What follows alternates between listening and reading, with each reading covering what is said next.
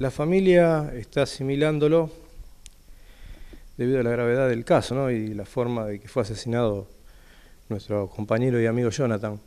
Eh, para estar en el puesto donde estaba trabajando él, dentro de, donde prestamos servicios nosotros, tuvo que hacer una serie de papeles y para eso necesitaba terminar la escuela primaria, que le, habían quedado unos años y tuvo que dedicarse un año a, terminar la primaria, a terminar los estudios. Eh, tengo el recuerdo de que salió abanderado de donde se había ido a estudiar, pudo conseguir los papeles, te hablo escaso un año, un año y medio, no, lo recuerdo bien.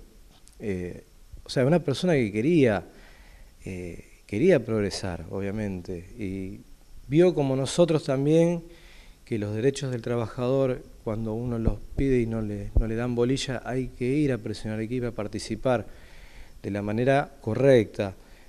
Y, él también lo entendía así, una persona muy inteligente, una persona muy noble, muy noble, una persona querida en, en, el ámbito familiar, una persona que era adorada entre sus parientes. Eh, de hecho, en, la sala velatoria era impresionante, no se podía entrar para rendirle homenaje a nuestro amigo. Eh, mucho dolor, mucho...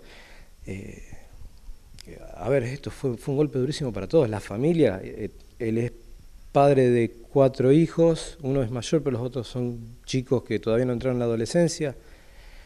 La mujer había quedado sin trabajo hacía un tiempo, que también vino de sufrir este, un montón de inconvenientes familiares, de fallecimientos muy, seguidos, muy pegados. O sea, lo ponemos dentro de este contexto y es muy duro para la familia, muy duro para los hijos, muy duro para, ahora que lo tenemos, lamentablemente lo tenemos así, muy duro también para nosotros. Y nosotros estamos eh, de a poquito eh, reorganizándonos, reacomodándonos.